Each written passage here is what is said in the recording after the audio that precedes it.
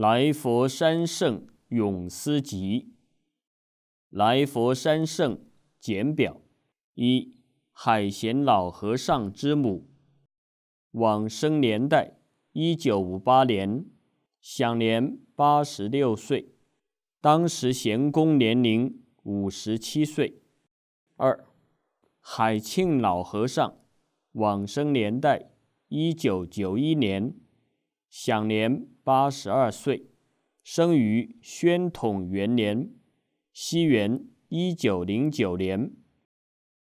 三海贤老和尚，往生年代二零一三年，享年一百一十二岁，生于光绪二十六年，西元一九零零年。续。在整理一位僧人生平事迹的时候，我们突然发现，他是一位佛门再来人。他为我们注释表法细致、深刻、全面，或许是我们只缘身在此山中，不识庐山真面目的缘故吧，致使我们没有多想，也没有来得及去享受、品味。以致没有更深层次的去体悟，那么我们今天就去还原一个原本就立体、丰满、福慧具足、真实的千百年一遇的生宝形象吧。一百一十二岁老生每天劈柴、除草、做农活；一百一十二岁老生上树摘柿子。一百一十二岁老生穿针引线缝生袍，一百一十二岁老生戒杀放生度众生，一百一十二岁老生栽种奇花瞬间开，一百一十二岁老生镜中导师为之清撰晚年墓志铭，一百一十二岁老生欲知实质自在往生极乐邦。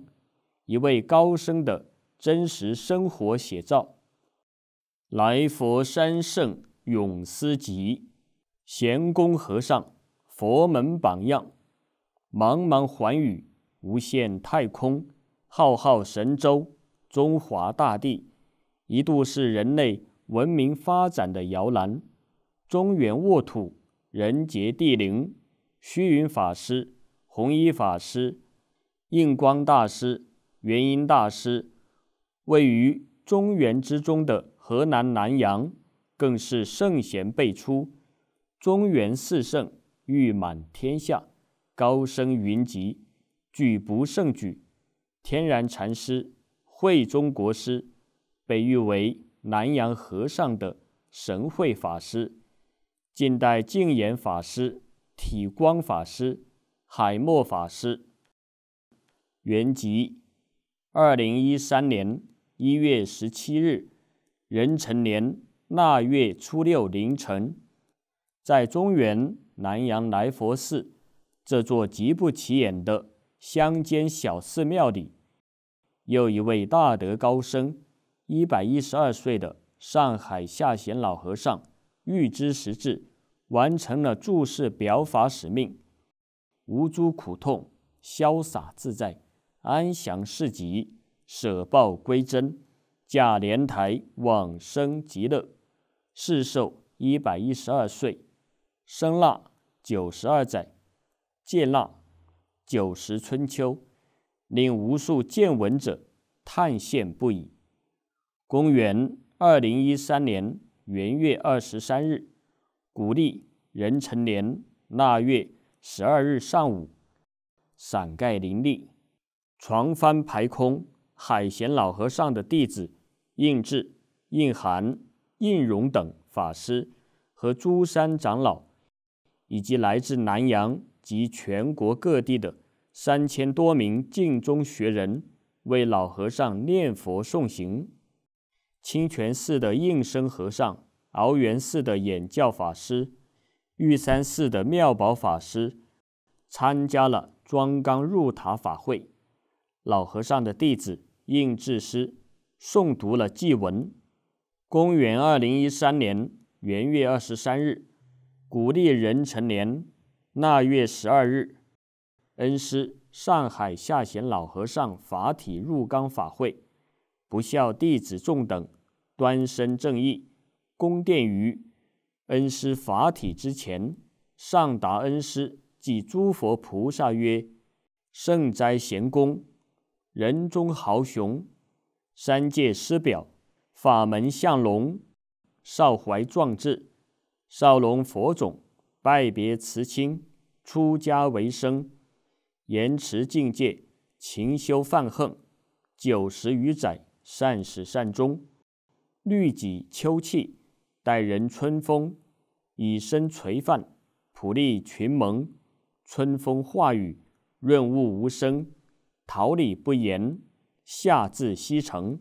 水不在深，有龙则灵。来佛古寺，因师而名。诗经归去，福慧圆通。花开见佛，彻悟无声。不孝弟子，拜瞻圣容。其师再来，莫舍顽名。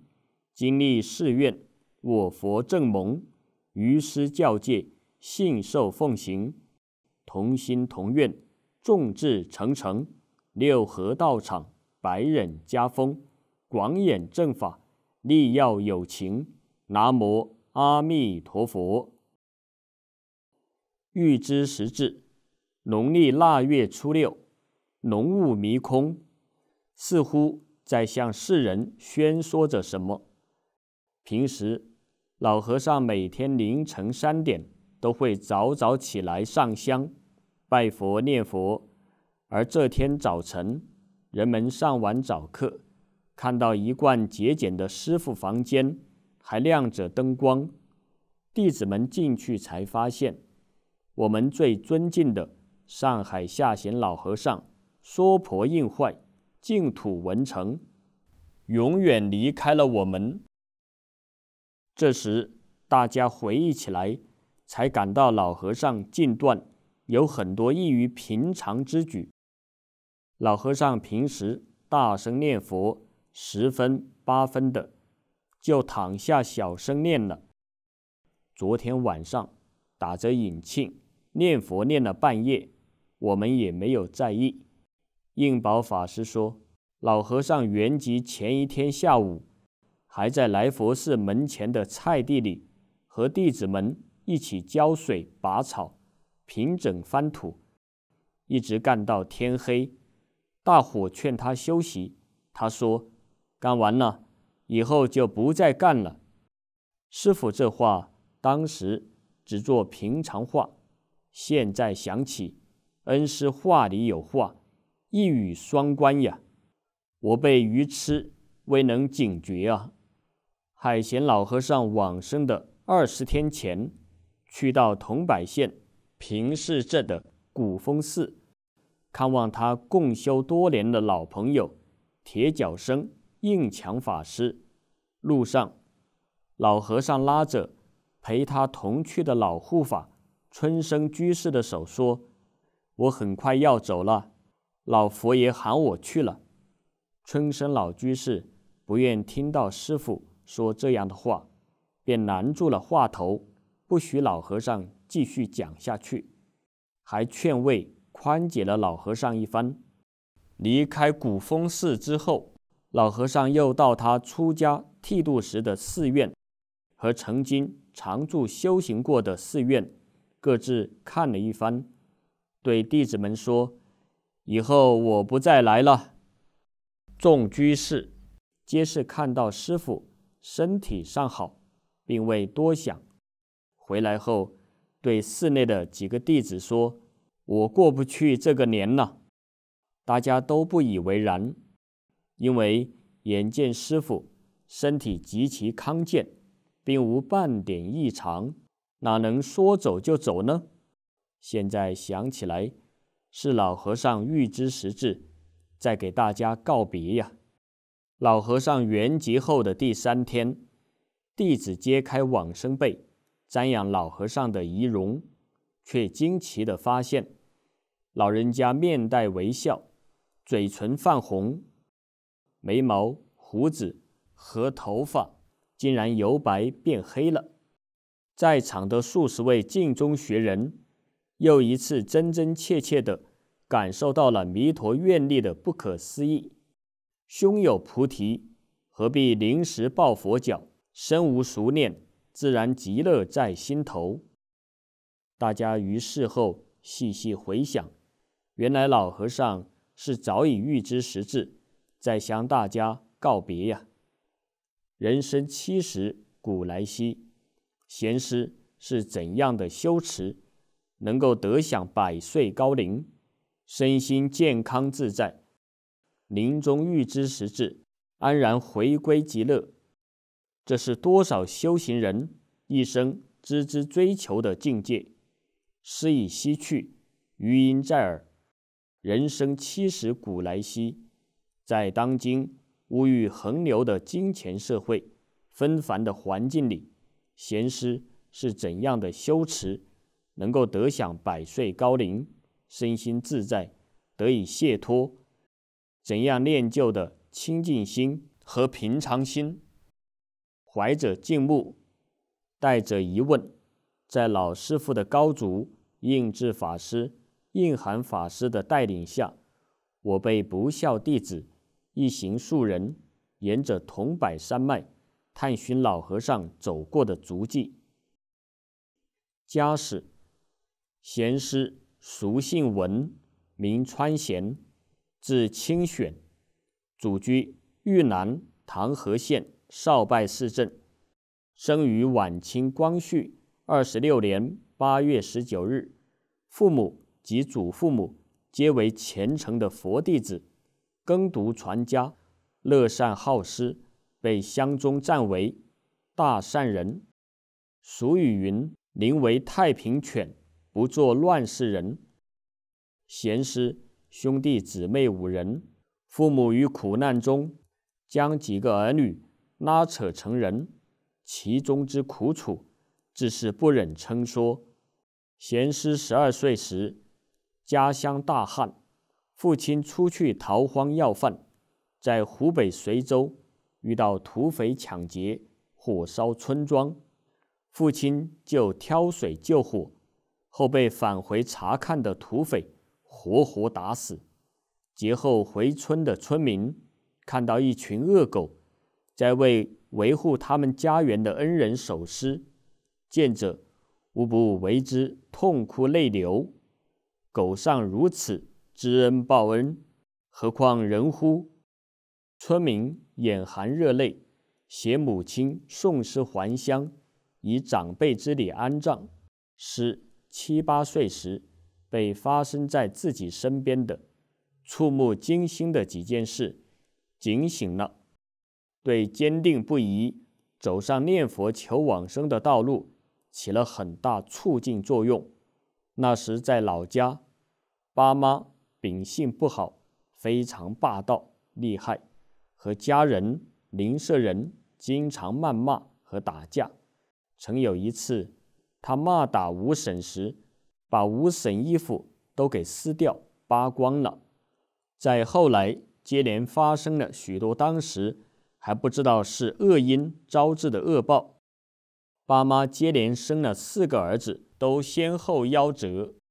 最后，爸妈的舌头总被自己的牙齿咬坏，就是人们俗说的嚼舌根，鲜血直流，以致发展到整个舌头被自己咬掉了，吃饭都吃不成。后来，爸妈在三十二岁生女儿坐月子时，也痛苦的死去了。当时死亡的那个惨象，把姐姐都给吓癔症了，八爹也连气带病的离世了。当时母亲对他说：“为人要和善宽厚，千万可别作恶造罪了。”母亲的话深深的印在了他的脑海里。师十二岁时种了一个大冬瓜，却被堂弟偷了。他就小声念诵：“谁偷了我的冬瓜，就叫他长疮害病。”谁知道三天后，他的堂弟真的卧床不起了。沈娘找到他说：“你别再念了，你弟弟就摘你个冬瓜，你就揍得他浑身长疮，疼得喊爹叫娘的。”后来他就赶紧念诵：“快教他好了吧，快叫他好了吧。”堂弟很快就真的好了。哇，人的念头竟有这么大的威力，有这么大的作用啊！以后再也不敢恨人、怨人了。他对人生有了深刻的思考，这件事对他以后坚信念佛法门能够成就正果，奠定了坚实的基础。十八岁时，贤师腿生痈疮，大幅溃烂，母亲为之。四处访求名医，全然回天乏术。师已知因果，叹曰：“妙药难医冤孽病。”遂舍弃医药，从朝至暮，一心称念观世音菩萨圣号。月于天后，顽疾不药而愈。师由此越发坚信佛语至诚，确无狂语。菩萨所言，度一切苦厄。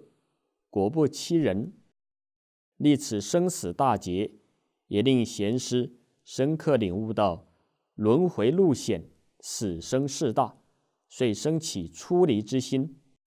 民国九年，师二十岁，决意拜别慈母，投在桐柏山太白顶云台寺上传下界老和尚坐下，老和尚亲自为之剃度，赐法名曰。海贤，贤师于二十三岁时赴湖北荣宝寺受具足戒，传戒师本是灵济宗白云系的一代大德，然而却不曾教授贤师参禅打坐，也没有教授讲经说法，唯传六字洪名，主其一直念去，结庐共修，贤师。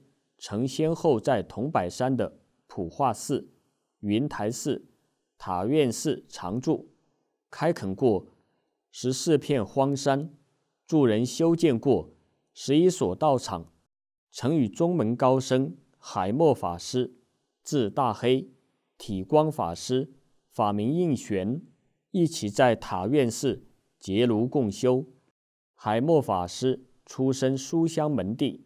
曾是黄埔的学员，喜研经教，擅长演说。一九六八年，海默法师闭关念佛，求生极乐，最终预知时至，夫作而极。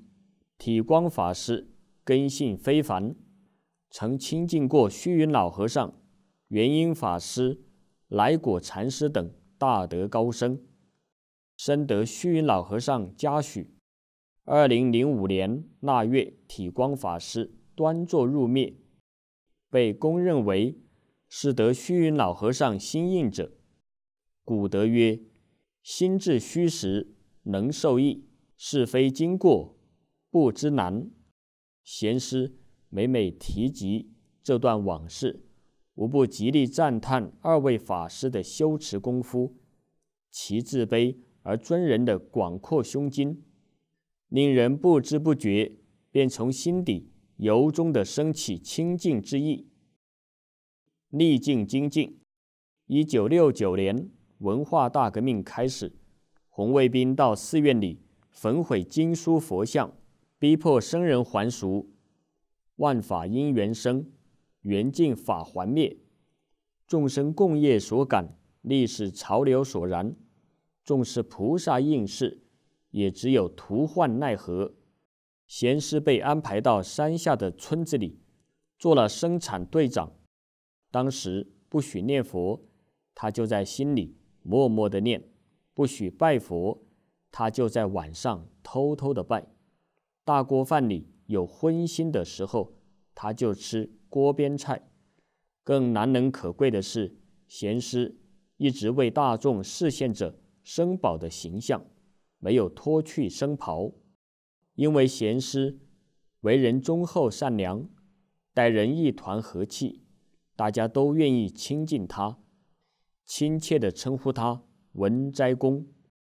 后代形势稍松一点，便又赶回寺院。寺院没有了户口，全靠在山上挖野菜，在树上摘野果吃，艰难度过了一个又一个年头。多年之后，当弟子们向贤师问起当时为什么坚决不肯还俗时，这位并没读过书的老人却张口说出了几句盖天盖地的言语：“学道当知心是佛，修行应以戒为师。出家再返家，不如不开花。”文革期间，红卫兵毁掉了传戒师的舍利塔。然而，却没有见到灵骨，感到十分诧异。后来，贤师在塔下的一块青石板下找到了传戒师的灵骨，心中暗暗赞叹：老和尚果真不凡，却有洞察乾坤的超人智慧。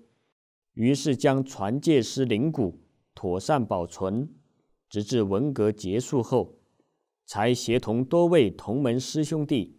将师傅的灵骨重新建塔安葬。来佛古寺，一九七六年文革宣告结束，南阳及社旗的许多护法居士相约到塔院寺引请贤师前来主持正法，恢复来佛寺的学佛道场。南阳来佛古寺位于河南省社旗县。饶梁镇西南，相传在隋唐年间，有杨彻镇粮商王居士驾牛车去袁潭镇贩粮，途遇三位老人搭车同行，行至深夜，便在路边停车休息。待次日黎明，却见三老已化为山尊石佛，众信士因而便在此处。兴建道场，取名曰来佛寺，即佛陀化身来此之意。只因饱经战乱与十年浩劫的种种磨难，贤师神悟偶一大师赞叹莲池大师时所讲的：“只要两脚着实，不求门庭好看，故而仅修起大殿三间和西厢房的。”罗汉殿三间所供奉的圣像均为泥塑，肉身菩萨数经沧桑变迁，几度江山易主。当年殿宇轩昂，如今尽还太虚。然而虽是空门零落，幸系正法犹存。古语有云：“山不在高，有仙则名；水不在深。”有龙则灵，就在这座毫不起眼的乡野荒庵中，就是这泥塑佛像和破旧瓦房，却成就了震惊寰宇的两位神僧：一百一十二岁自在往生的上海下贤老和尚和他的师弟肉身菩萨上海下庆法师。海庆法师俗姓李，会。富贵，祖居豫东南泌阳县，生于晚清宣统元年。因出身寒微，未曾习书学文，然天性仁厚，生来贤孝之礼。十一岁皈依三宝，离皖东罗汉山清凉寺传东法师为剃度师，赐名海庆。师四十二岁，入来佛古寺常住。专修净土，老实念佛。一九八九年往白马寺受具足戒。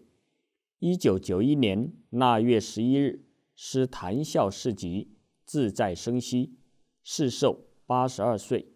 生腊七十一年，师坐纲六年九个月后，其戒兄上海下贤老和尚发心为之涂皮入塔。寿刚开启，众皆惊叹，唯见庆师肤作微然，面貌如生，乃至所着衣物亦纤毫无损。是众知是金刚法体，全身舍利，遂将其供奉寺内，招募礼拜。二零零六年，广州大德李元天居士新闻庆师圣迹，倍生敬仰，乃发心为其贴金供养。初阅庆师生平，似觉平淡至极，除却一声阿弥陀佛圣号，竟无他物可言。然系家王位，一门深入，常时熏修，岂非师暗合道庙处么？心下会悟，使心大道至简，生佛不二，念佛是因，成佛是果，如是而已。只有敬业学人为师赞曰：“一句弥陀法中王，七十年来心中常。不参禅理不言教，不解经咒又何妨？信生怨切执念去，自然花开极乐邦。留此金刚不坏体，正转法轮度迷茫。细观佛手低垂处，恰似六祖。”驾慈航，金钱祈祷莲台下，求师引我出梦乡。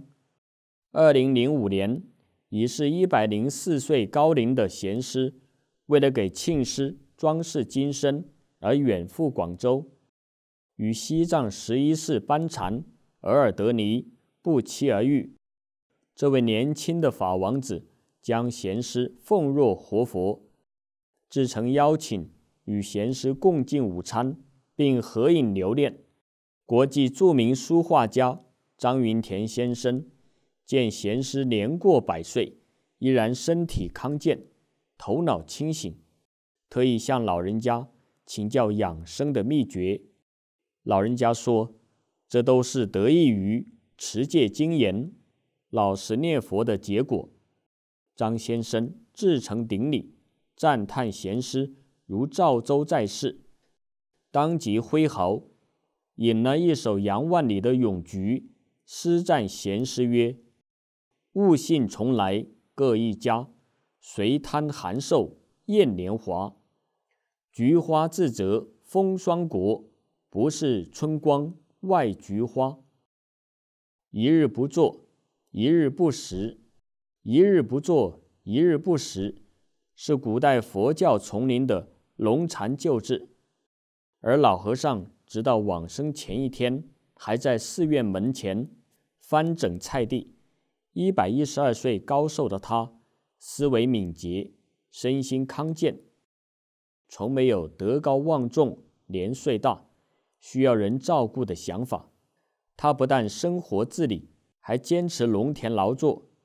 凡是他常住的寺院或佛堂，千佛寺。来佛寺、圆明寺、社旗居士林、南阳义乌念佛堂、六方佛堂，都有他很多很多干活的农具。农具坏了，他亲自修理；衣服破了，也亲自缝补。自己的事情不劳别人染指。贤师曾先后在桐柏山的桃花洞、云居寺。塔院寺常住，那时由于山道崎岖，寺院偏远，人迹罕至，很少有居士和乡人供养，所以僧众一日三餐生活全靠自己操持养活。尽管大家的生活极简单清贫，但如果没有自己的辛勤劳作，真连吃饭都成问题，更别说。能念佛修持了。那时他年轻勤快，干啥都不犀利，凡是挑水、洗菜、做饭、洗刷锅碗，样样干到前头，尽量不让师兄弟们插手，心里总想让他们有更多的时间休息，同时把寺院上下里外，甚至厕所、海咸都打扫整理得干净无染。使人置身于舒心环境之中，就连师兄弟们的衣物、佛事和寺院法器，都及时予以清洗整理，不沾泥污。难怪当时传戒恩师对徒弟们常说：“海贤是在实际生活中修佛啊，这最难得。他曾经开垦过十四片荒山，助人修建过十一所道场。他住过的寺院，都保存有平常做活的农具，走到哪里干到哪里。他一天到晚都不闲着，还什么活儿都干。二零一一年秋天。师傅爬上自己的石塔，用手拂去厚厚的积草，坐在塔顶，夕阳下，深深的凝望西方。居士们清楚的记得，在他一百一十二岁，大家到寺院看望他时，他正在把自己挖出的一个大树疙瘩进行破解，准备寺院里做饭食用。下午又挎着箩筐。到寺院种的玉米地里收摘玉米穗。当他坐上居士们接他到南阳的轿车时，还不时回头，一次次张望着寺院门前那一排怒放的鸡冠花，和他亲自栽种的名字叫“七点半”的西式奇花。七点半花开，花开见佛，一花开时百花开。那是他亲手栽种、浇水、拔草、细心管理，才开放出如此火红美丽的鸡冠花朵，映衬着一百一十二岁老和尚纯真、纯净、纯美的心境。青青翠竹尽是法身，郁郁黄花无非般若。海贤恩师一生没有豪言壮语，从来不做。金忏佛事，但他不论闲忙，佛号从不离口。他的一言一行，他的一举一动，都在向人们展示佛法的微妙，都含有无上禅机啊！他还对我们说：念佛修行要能吃苦，以苦为师，以戒为师，不能图供养享受。他形象地说：吃苦的，穿补的。想当和尚，会当婆娘。是啊，我们亲眼见到，即使现在他已经一百一十二岁了，若到哪里去，总是仍然带着针线包、锥子、剪枝等小工具之类，凡自己用的、穿的，全是自己洗洗、自己缝缝补补的，从不张口麻烦人。他说：“我还能动。”眼又不花，能干的自己干，啥都叫人伺候，那就退坡了。二零一二年三月，老和尚在圆明寺参加观音法会，弟子应荣法师孝敬他一件僧袍，老和尚试穿一下，感觉有点长，当即脱下来，自己飞针引线，撩起了袍边。这一幕。被参加法会的居士抓拍了下来，成为世间最为珍惜的镜头。孝亲尊师，世上有一种情感不能忘，那就是母爱；有一种事情不能等，那就是孝。贤师的二哥和弟弟相继去世后，贤师就把母亲接到桐柏山上孝养。一九五七年冬，母亲突然提出要回老家居住，贤师苦苦相劝，终难挽留，只好顺从母亲返乡，暂且住在生产队菜地里的两间茅屋里。晚上，老母亲吃顿自己亲手包的饺子，捎信要他的女儿、侄女都回来。第二天中午，仅喝点女儿。拿回来的罐头汁，自己又到厕所方便后，坐在椅子上，说了声“我走了”。只见他头一歪，老母亲就真的走了。他八十六岁，自在而逝。也是因为当时条件极其困难，贤师为母亲念佛三日后，只能用一口薄板棺材将母亲。简单埋葬了，这让贤师常挂在心，深感对不起母亲的无边深恩。八年后，贤师发心为母亲迁坟树碑，岂料掘开墓穴，竟然空无一物，仅有几颗钉棺材用的大钉而已。山寺诸佛敬业正因，莲池大师曰：“父母离尘垢，子道方成就。”至于贤师之母是否乃菩萨应化，如达摩挂女般游戏神通，我辈凡夫只是不敢妄断。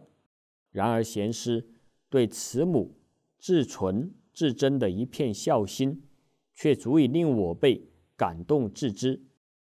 在他被红卫兵勒令下山还俗时候，扒开了传戒师的木塔，可是墓穴空空，只好作罢。贤师在墓穴底下的石板下面找到了师傅的骨灰，方知传戒师是得道高僧，早知有此一劫，方将骨灰藏匿石板下面，任凭红卫兵。如何逼问师傅骨灰去向？他尽管历尽磨难，始终守口如瓶，师傅的骨灰才得以保存。至到一九九一年，海贤老和尚又亲率弟子们为师傅在桐柏山桃花洞旁边重新修塔安葬。在长达几年的时间里，没有香火供养。几乎是海贤一个人辛勤劳作，供养五个年老体弱的老和尚，直到他们一个个往生。无论是在寺院，还是在佛堂，每年的清明节或十月一日，他都要叨念着：“我得赶紧回去，十月初一马上到了，我得再回老家上坟祭祖，还要到桐柏山寺院。”再去祭拜我的师傅，海贤是孝亲尊师的典范，在他所实现的百年修持生涯中，让世人清楚地看到并认识到，佛教是圆满的因果教育，是和现世人们生活中的伦理道德紧密结合的，绝非是可望不可及的空中楼阁或世外桃源。花开见佛，老和尚来南阳，总在义乌念佛堂刘居士家住。他总是在夜里两点多就起，上香、念佛、拜佛、绕佛。一天早上，香炉里插了十二根香签，好奇地问他：“师傅，今天怎么上这么多支香呢？”老和尚说：“天机不可泄露。”我说：“我不泄露，您只对我说嘛。”停一下，他又说：“我看见满天都是阿弥陀佛，所以才点满炉香。”又有一次，刘居士试探问他：“师傅，你老看见阿弥陀佛，他给你说什么没有？”师傅说：“我啥都知道，天机不可泄露。”停顿了一下，又说。老佛爷不让我走，叫我表法力，做个样子给大家看。他看到居士们拜佛的姿势杂乱，不够威仪，随即给大家做示范：拜佛心要诚，脊梁板要平，放碗水都不洒。拜下去时，姿势要像青蛙。边说边拜，示范了几遍。平时。他从不在拜殿上拜佛，总是在地面上拜，对佛恭敬、真诚到了极点。他说：“拜佛是要拜出自信，拜出清净心啊。”海贤老和尚对我们说：“在他眼里，一切都好，没有啥不好的，见啥都说好，见啥都高兴，心里才能经常充满法喜。”心里才能清净，才无烦恼，才不生气恨人，没有这好那坏之分，也没有这好吃那不好吃的了，一切都随缘，心里就安心踏实了。先辈寻常语，人间未见书，众居士不约而同齐念弥陀圣号，深感震撼。引诗一首：一团茅草乱蓬蓬，莫地烧天莫地空，蒸似满炉微鼓堕，慢腾腾的乱哄哄。慈悲为怀，同心同趣。贤师一生性情温和，慈心爱物，真诚善待一切众生。没有人见他老人家发过脾气，也没见他毁谤、轻视过任何人。无论男女老幼，生家俗家，亲近贤师，未有不生欢喜心者。老人家曾多次教诲弟子们说。宁可荤口念佛，不可素口骂人。每当举行大型放生法会时，他总是提前准备好生衣法器，及早漱洗，干净整齐的，早早来到法会现场，自始至终保持慈悲微笑，又不失佛教威仪。放生法会，老和尚泼洒甘露水的镜头；白河放生法会。老和尚尽力把瓶中甘露普洒众生，成了他一生表法的写照。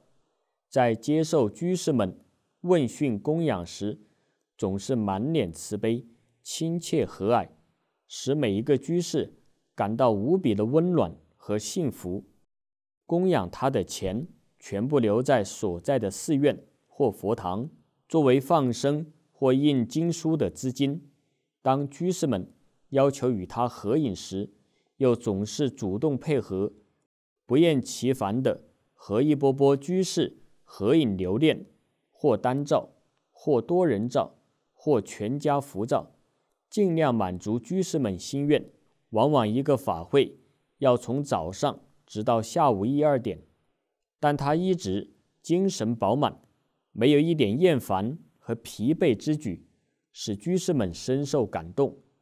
要知道，这是一位百多岁的老人啊，年轻人都感觉累，难道他不感觉累吗？特别是当老和尚又随车辆到山上放生鸟族时，他深情地亲手打开鸟笼，用充满慈悲的眼神望着一只又一只飞向树林、飞向蓝天的小鸟，满是皱纹的脸上。总是洋溢着平和慈祥。有一天，老和尚像往常一样，午后不休息，到寺外种的玉米地里转一转，边走边默念“南无阿弥陀佛”圣号。这一片玉米地平日辛勤耕耘，用作寺里僧众与居士们挂单的生活补贴。当他走到东北角时，突然听到玉米地里一阵悉索和弄叉的声音，顺着声音向地里看去，只见一位壮年村民正在偷掰玉米穗，往大布袋里装。那人看到他，紧张害怕的不知所措。老和尚连忙打着手势，轻轻地对他说：“莫着急，你要掰就捡大的掰。”说罢就绕着。走过去，以后每当那人见到老和尚时，眼神里都充满钦佩和敬仰。寺院外有块闲地，平时种些菜和杂粮。行人有时走路不小心会踩坏苗子，我想把这个路边堵上。恰巧旁边有两个闲置不用的大石滚，农民过去碾场用的，就过去推石滚。由于石滚太大太重，我使劲晃了几晃，都纹丝不动。海贤师傅看到后，走过来，弯下腰，一使劲，就把大石滚挪到了地边路口。都不知是咋回事搬动的，还一直揣摩着，师傅咋有那么大力量？海贤师傅真是菩萨心肠，对众生。慈悲到了极点，在寺院内外，海贤师傅看到有猫狗等小动物来回出入，就把供果、食品给他们分食，并嘱托我们不要打，不要伤着他们了。他说：“这都是众生，跟咱们人一个样子，都有灵性了。”我和师傅在寺院开了荒地，在有活要干时，海贤师傅总是说：“你不干了，我来干，你念佛去。”他经常对我说：“念佛。”念到一定时候，不管啥时候都在念佛。别看我在干活哩，我还在心里时时念着佛哩。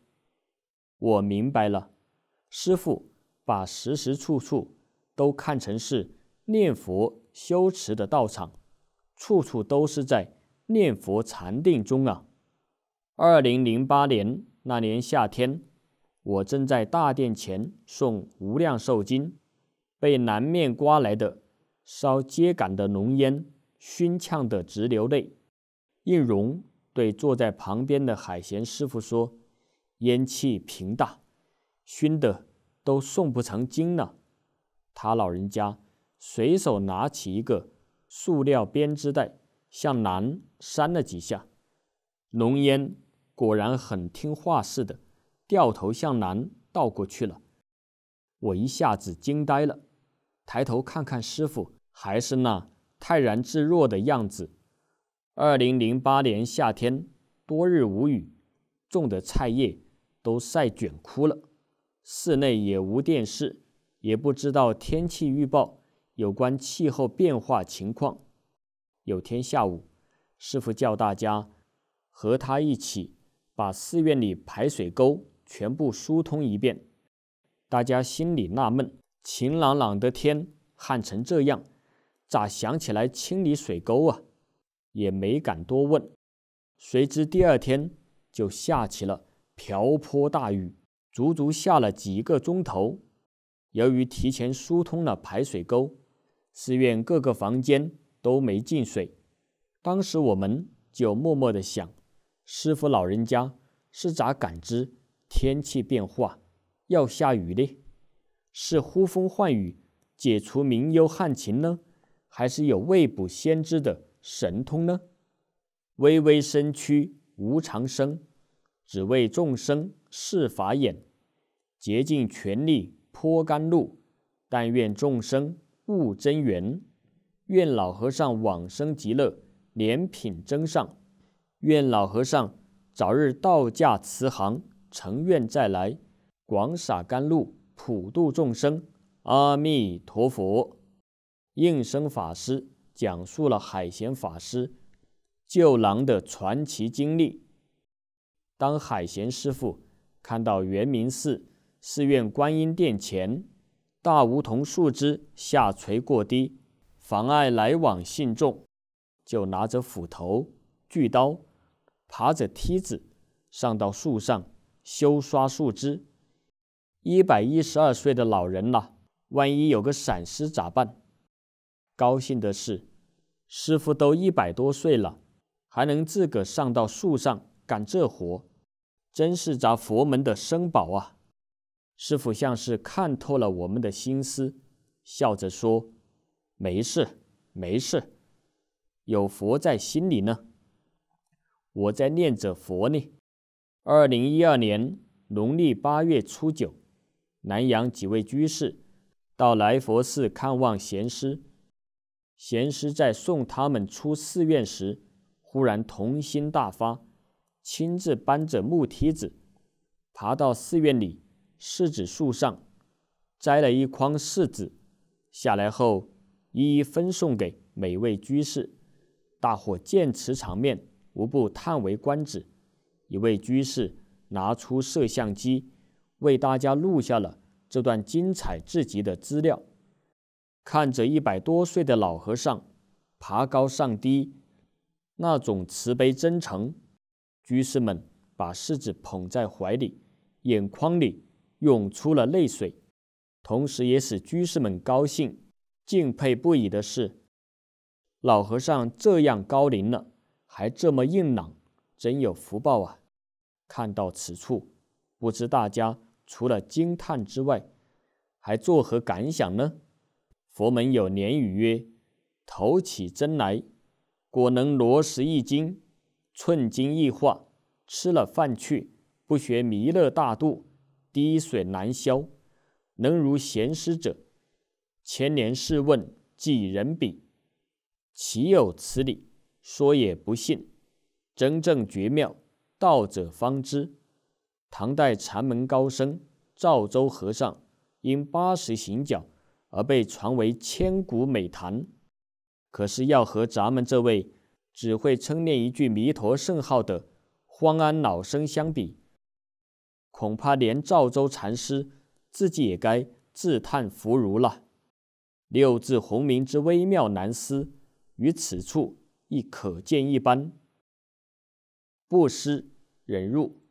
从前有一段时间，贤师看到几个师兄弟在一旁总对他指指点点，好像在议论着什么，他也不在意。直到有一天，师傅把他叫到方丈室，问他是否和某个女居士发生不正当关系，是有人亲眼看见才向他报告的。直到这时，海贤才明白。原来是有人诬陷自己的清白，他当时对师傅跪下说：“徒弟海贤，我绝无此事。”仿佛谎言说了一百遍就会成真似的。此事越传越离奇，简直说得有时间、有地点、有鼻子有眼的，使海贤受到了排斥，一些师兄弟也都不爱和他接近了。但他的心情很平静，相信总有一天会真相大白的。不久，一个外出的师兄回寺听说后，马上站出来澄清，当着师傅生众的面，证明那几天他和海贤师弟一起在山坡上收玉米，是山下村民来帮忙干活，他一直和海贤住在一起。绝无发生任何事情，这时海贤的清白才得以澄清。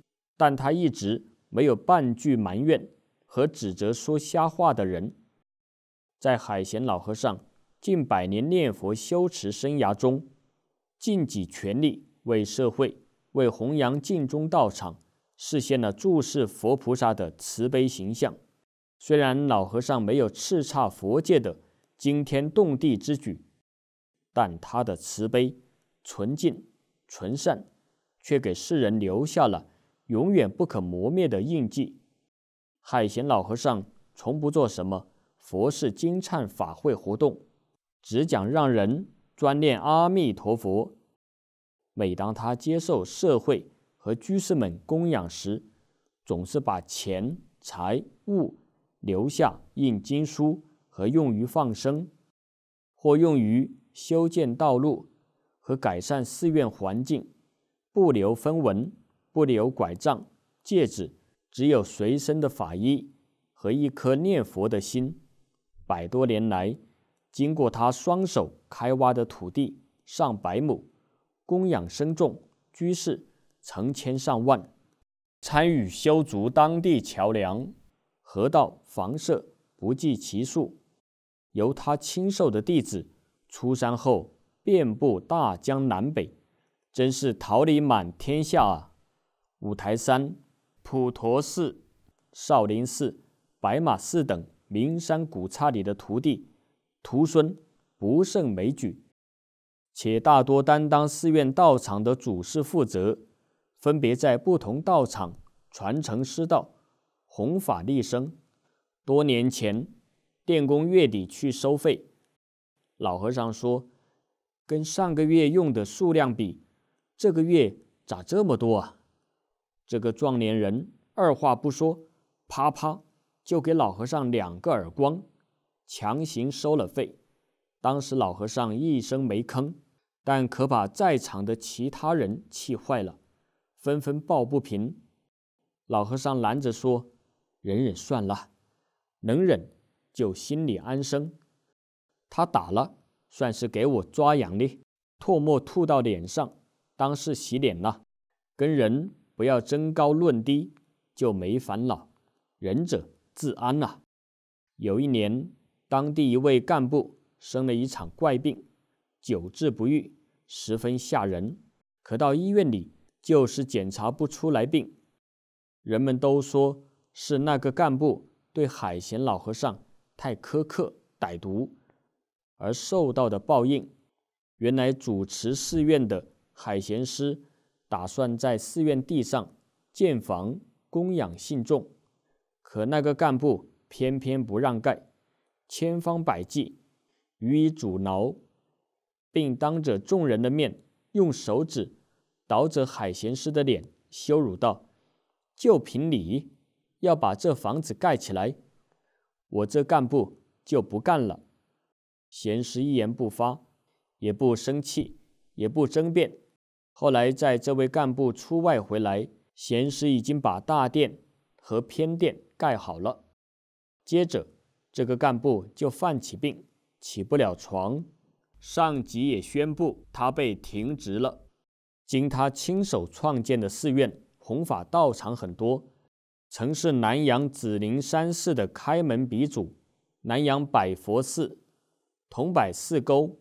塔院寺的当家师，当他先后到社旗来佛寺、千佛寺时，用居士们供养的钱购买土地、扩建房舍等万事俱备后，却甘居二线，而让弟子主持担纲。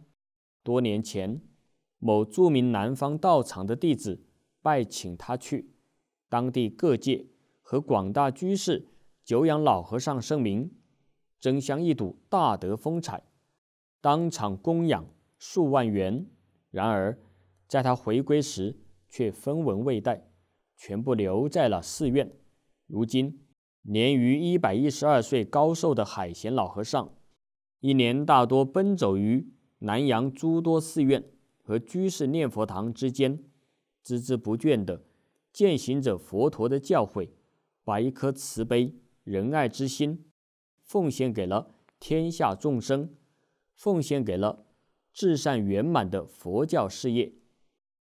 持戒精严，老实念佛，贤师谨遵传戒师戒训，一生维持六字洪名，时时刻刻、日日月月、年复一年不曾间断。每天早起拜佛念佛，他拜佛时坚持不用拜殿。念累了，拜累了，就睡一会儿，醒了再接着念，接着拜。一句南无阿弥陀佛圣号刻骨铭心，在大殿，在田间，在山林，行住坐卧，片刻不曾丢失。他常常告诫身边人：好好念佛，成佛是大事，其他啥都是假的。二零一二年。仲秋的一天，贤师正在劈柴，几位外地居士到寺院念佛，大家求老人家慈悲开示。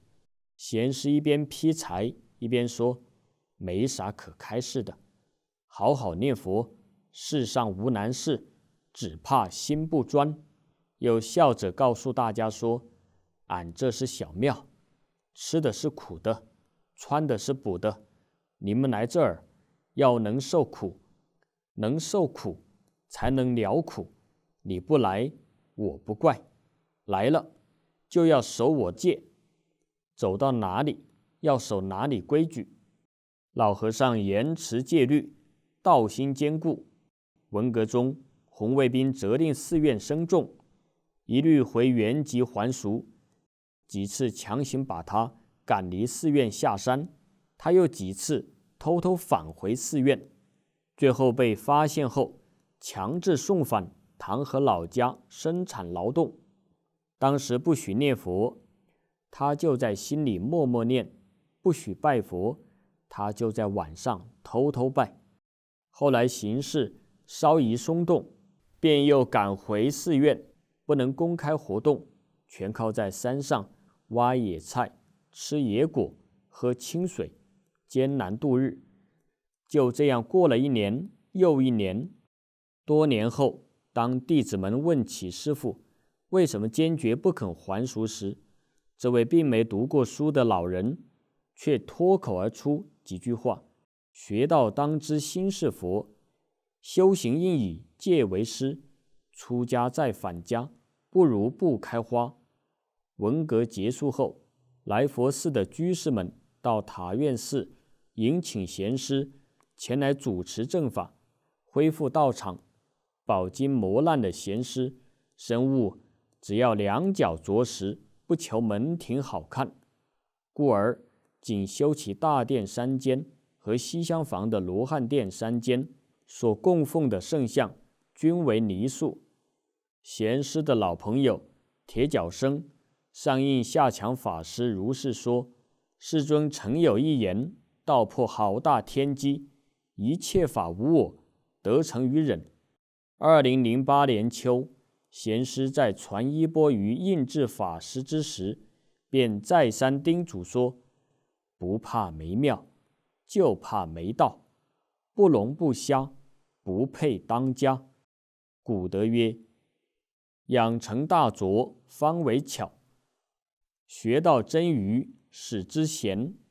用在贤师身上，正恰如其分。”上进下空老法师赞其为海会圣贤。有一次，他在南阳六方佛堂拜佛，居士说：“给您屋里放尊佛像吧。”他说：“我烧香，主要是把自信佛念出来，就成功了。”二零一二年十月，老和尚在世间的最后几个月，南阳的一些居士。对老和尚进行了一次访谈，有人问老和尚念佛的感应，他说：“啥感应稀奇，不要求，啥都是自然才好。”老和尚有若有所思，像是透露天机似的说：“念佛啊，我每天晚上在念佛时，只见床上、床下、屋里、屋外都是人。”挤得满屋子都是众生在听我念阿弥陀佛。到了早上起不来时，就听见有人在耳边喊：“快起来，念佛了！”真是妙极了。我没有上过一天学，不认得一个字。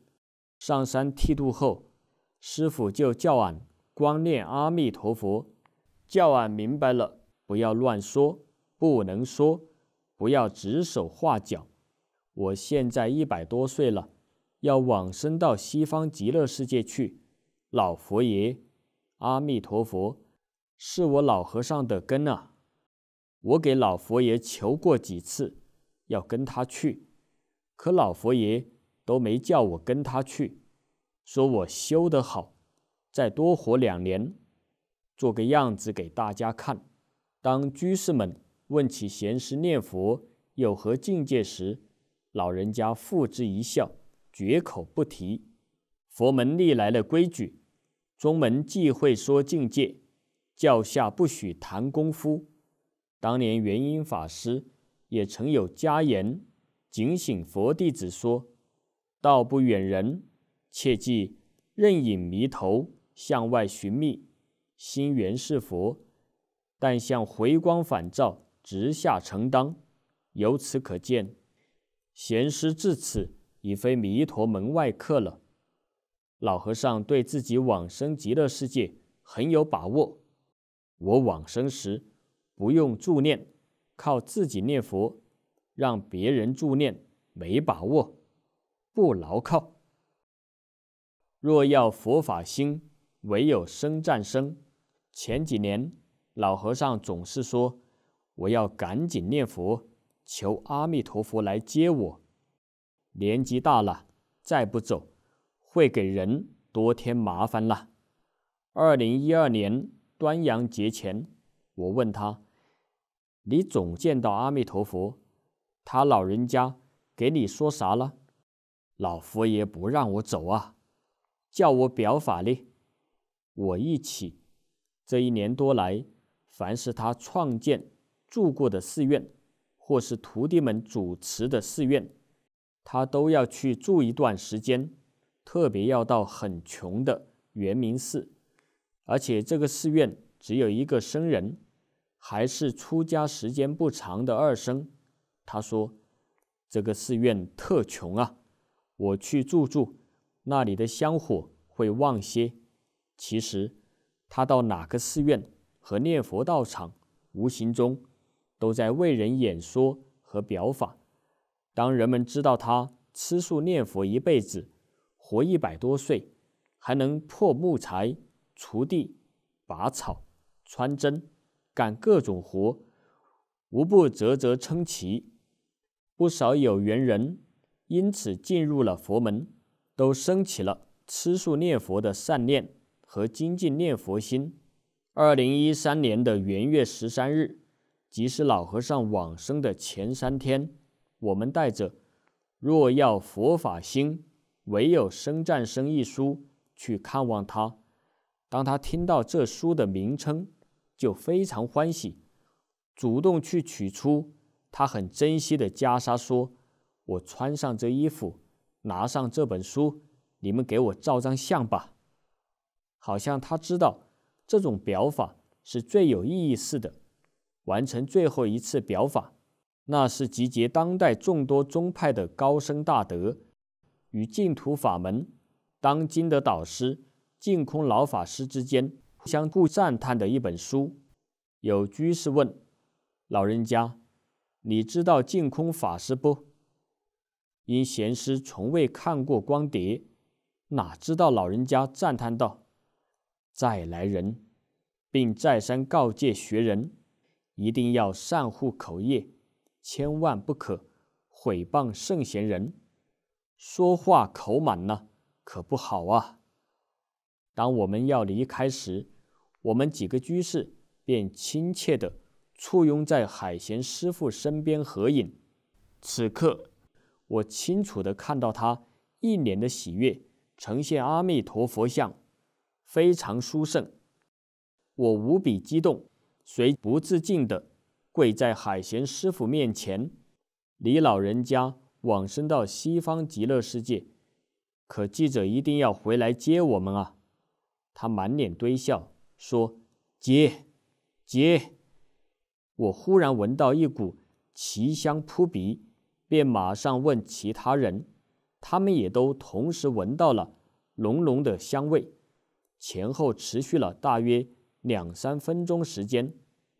当老和尚送我们走出大门时，又叮嘱我们要念佛啊，其余啥都是假的啊，并告诫我们说：“我早晨三点钟，有时一点就起来念佛。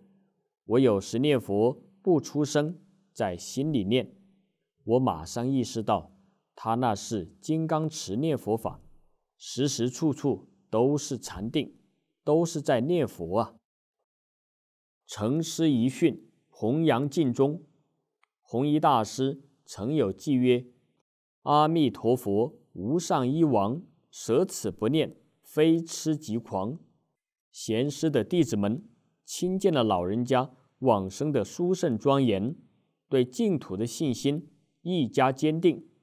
千佛寺住持印涵法师和圆明寺住持印荣法师也都表示，到场以后世世代代都要专修专弘念佛法门，绝不辜负恩师的谆谆教诲和殷切期望。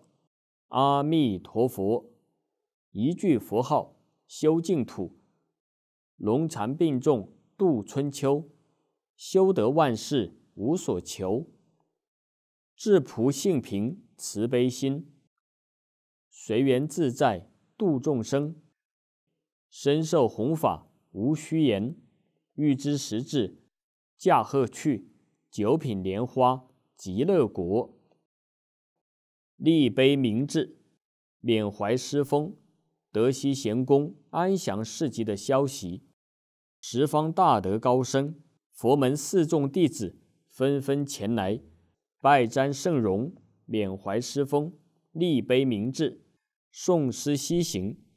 在四众弟子庄严的佛号声中，海贤老和尚的法体敷坐于寿缸之内，葬于来佛寺塔院老和尚的弟子来佛寺主持，印智法师、千佛寺主持，印含法师与四众弟子，在老和尚归西百日之际，为他举行了盛大的纪念立碑法会。当地相关部门的领导以及河南省佛教协会副会长上苍下明法师参加了立碑法会。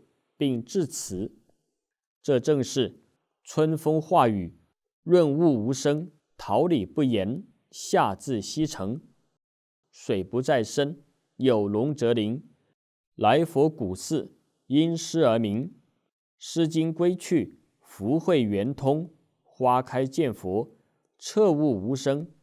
不孝弟子，拜瞻圣容。其师再来，莫舍顽名。经历誓愿，我佛正蒙，于师教戒，信受奉行，同心同愿，众志成城。六合道场，百忍家风，广演正法，力要有情。师傅啊，盼您早回来，早回来！当代净宗导师，德高望重的上进下空老法师，对贤师大为赞叹。为贤师亲笔题写了墓志铭碑文和挽联。当代净宗导师德高望重的上进下空老法师，得知海贤老和尚自在往生的消息后，大为赞叹，为老和尚亲书对联一副：四十八愿，一部大经，一句佛号，往生极乐。百十二岁。专弘净土，专护正法，重返娑婆，号召净宗四众弟子向海贤老和尚学习，并为老和尚亲书碑铭，以利后人。碑铭曰：“贤公和尚，佛门榜样，不是金忏，远离利养，严持戒律，示众清养，老实念佛，道在平常。”净土大经，诸佛密藏，一句弥陀，甚深妙禅。百一十二，老当益壮，为生战生，法门兴旺。弘普贤愿，表法离障，续佛慧命，功德无量，自在往生，道驾慈航。上进下空老法师，在海贤老和尚百日之际。不能亲自前来参加老和尚的立碑揭碑法会，亲笔致函印制法师，印制法师道见，感谢法师相邀为令师接碑。然净空风烛残年，缘未成熟，力不从心，一心只在讲经念佛，恐为克功与其会，请法师见谅。令师正知正见，老实修行，护持法门，续佛慧命，大德大愿，令人无限敬仰。法师等善秉一致，信受奉行。六合道场，百忍家风，广演正法，利要有情，天人赞叹。专诵道业精进，道风远扬，法源殊胜。法轮常转，净空警句。二零一三年四月十日，海贤老和尚在一百多年的注释修行生涯中，以戒为师，以苦为修，道心坚固，持戒精严。他质朴实在，平易近人，一生淡泊名利，从不沾染虚荣头衔。他随俗入缘，恒顺众生。像一碗清水，照人照物，润人心田。他身居南阳，设其来佛寺，乡间小寺庙几十年，龙禅并重，播撒菩提，田间耕地除草，室内燃灯焚香，劈柴做饭，没有一天停歇，不做金忏佛事，一句阿弥陀佛圣号刻骨铭心。在田间，在大殿，在梦中行住坐卧，片刻不曾丢失。他经常告诉身边有缘人：搬财运水，无非是道；粗茶淡饭，皆是修行。好好念佛，成佛是大事，其他啥都是假的。要和咱们这位只会称念一句“弥陀圣号”的荒安老生相比，恐怕连赵州禅师自己也该自叹弗如了。六字洪名之微妙难思，于此处亦可见一斑。生宝不思议，身披山势云衣，扶悲渡海，刹那时，复感应群机，堪作人天功德主，坚持戒行无为。我今起手，愿遥之。正席藏提膝，阿弥陀佛。若要佛法兴，唯有生战生。净空老法师总结海贤老和尚表法的意义：一、海贤老和尚给我们做出修行人的最好榜样。他一生老实专念一句佛号，没有涉猎其他法门。一句佛号就是十方三世一切诸佛的总名号，念阿弥陀佛就是念一切诸佛，一切诸佛所说的一切经教，全在这一句佛号中。念阿弥陀佛得佛力加持，心地清净，健康长寿，一百一十二岁，自己照顾自己，精神体力。跟年轻人一样，一生持戒念佛，《无量寿经》上所说的，他全做到了。看到他的表法，学佛的人心就定了，心愿念佛求生净土，必定得生圆满无上菩提，真正不可思议。二，老和尚的表法给我们证明：第一。下莲居老居士的汇集本是正确的，不应该怀疑。第二，黄念祖老居士的集注也是正确的，是正法。第三，肯定我们这二三十年弘扬汇集本，依照这个本子来学习没有错。我们学习《大圣无量寿经科注》第三回圆满，海贤老和尚。九十二年的表法，给我们做最后的总结。无量寿经是世尊跟莲公大士为我们示转、劝转；黄念祖老居士的注解是劝转；海贤老和尚是做正转。三转法轮都在我们面前，我们能不信吗？三老和尚为我们末法时期。在斗争坚固的时代，开辟一条往生极乐世界的大道，就是一句阿弥陀佛，万缘放下。一个人默默的认真苦修，心里清净平等自在，帮助一些苦难众生。他真有智慧，真有定功，什么都知道，但是不说，吃苦耐劳，忍人。所不能忍，从事农耕，自给自足，名闻利养一点都不沾，所以没有人干扰，没有极度障碍。海贤老和尚的光碟要天天看，每天看三遍，一年看上一千遍，每天念一万声佛号，确实能兼顾我们的道心、信心、愿心，决定消罪业。